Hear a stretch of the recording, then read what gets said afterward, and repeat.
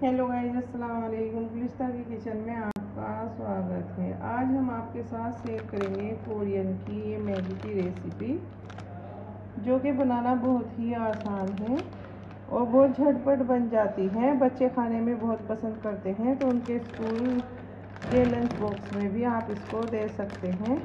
तो चलिए बनाते हैं। ये हमने लिया है एक पैन और अब हम इसमें डाल देते हैं एक चम्मच ऑयल अब हम ये प्याज लिए हैं। आधा चॉप करके हम प्याज डाल देते हैं। ये जो मैगी होती है, ज़्यादा स्पाइसी होती है, इसे हम कम स्पाइसी बनाने के लिए इसमें कुछ मसालों का इस्तेमाल करेंगे। और ये हम इसमें डाल देते हैं आधा टमाटर। प्याज का कच्चापन ख़त्म हो चुका है। अब हम इसमें डाल देते हैं सीजनिंग मसाला। अब हम इसमें डालेंगे थोड़ा सा पानी। मसाले को हल्का सा भून लेते हैं।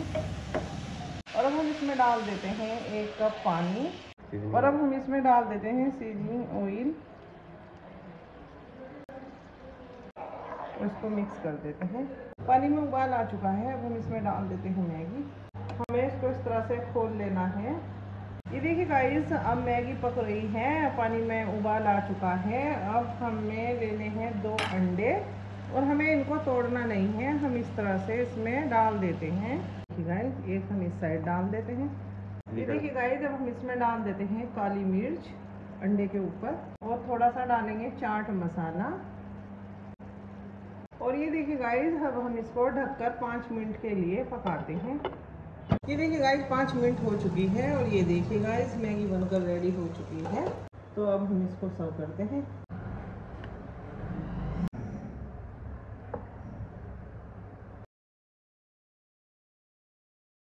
अंडा कोरियन मैगी बनकर रेडी हो चुकी है। अगर आपको हमारी ये रेसिपी पसंद आए, आप इसको लाइक करें सब्सक्राइब करें बनाकर देखें कमेंट बॉक्स में बताएँ, आपको हमारी रेसिपी कैसी लगी।